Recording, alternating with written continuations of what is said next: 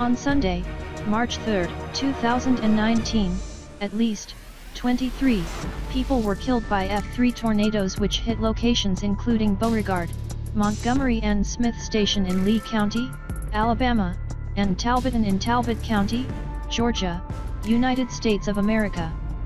The area around Beauregard, about 60 miles, 95 kilometers, east of Alabama's state capital Montgomery, appears to have borne the brunt, the tornadoes there struck at about 1400 hours, 2000 hours o'clock GMT, on Sunday, carving a path at least a half a mile wide and at least a mile long. Footage of the aftermath shows snapped communications poles, roads littered with debris and wrecked houses. Residents of Smith Station said they had seen businesses destroyed there. A large bar called the Buck Wild Saloon had had its roof torn off. Talbotton in Talbot County in Georgia also got hit. Tornado warnings were also issued for Georgia, Florida and South Carolina. The National Weather Service, NWS, classified it as at least an F3, meaning winds of up to 165 miles per hour, 266 kilometers per hour.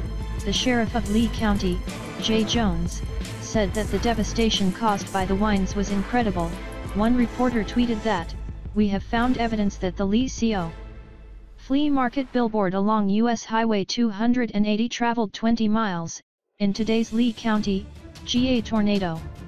It was torn off N of Smith Station, AL and landed 20 miles to the NE in Hamilton, GA.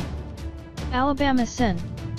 Doug Jones talked with local authorities in the areas devastated by tornadoes.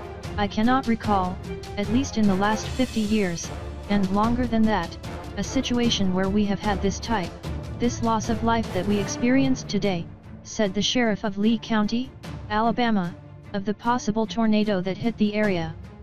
Lee County Sheriff Jay Jones said, It looks like someone has taken a giant knife and scraped the ground, there are slabs where homes formerly stood, debris everywhere, whole forested areas with trees are snapped and lying on the ground, a lot of devastation out there, a statewide state of emergency is in operation, with resources from across the state pouring into the affected area, drones with infrared capability are being used in an attempt to find survivors.